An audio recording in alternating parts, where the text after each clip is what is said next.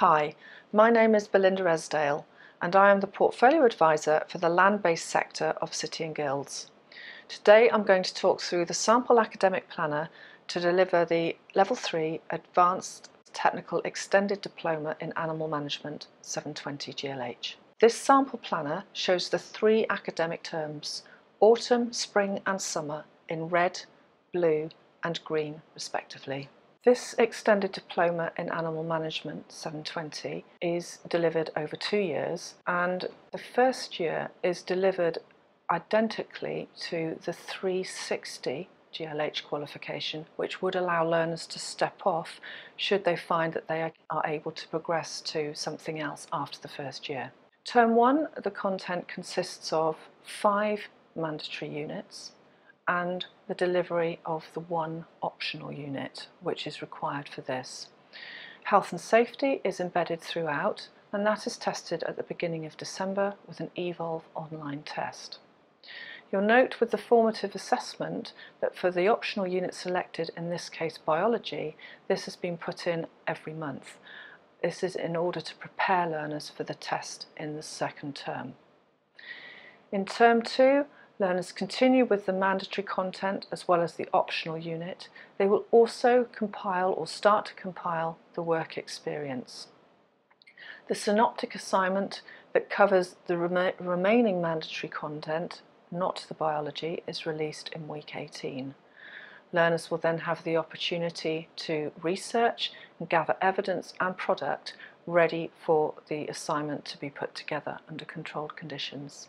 In term three, learners will continue compiling their evidence for their work experience portfolio ready for upload at the end of that term.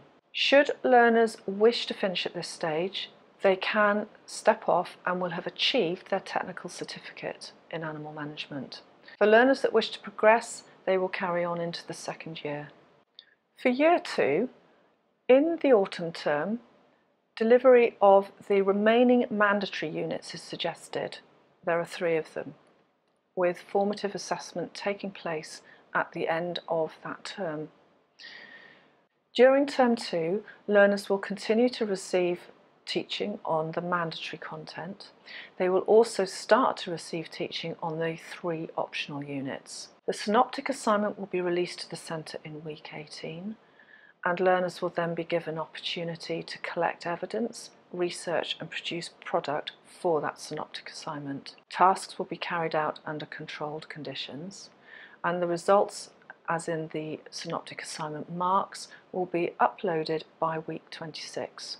Learners during this time will additionally be revising for their end test which will be on the mandatory content of this second year only. That test takes place in week 25.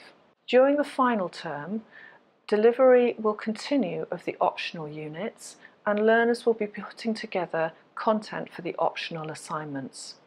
These optional assignments are then uploaded to the portal in week 34.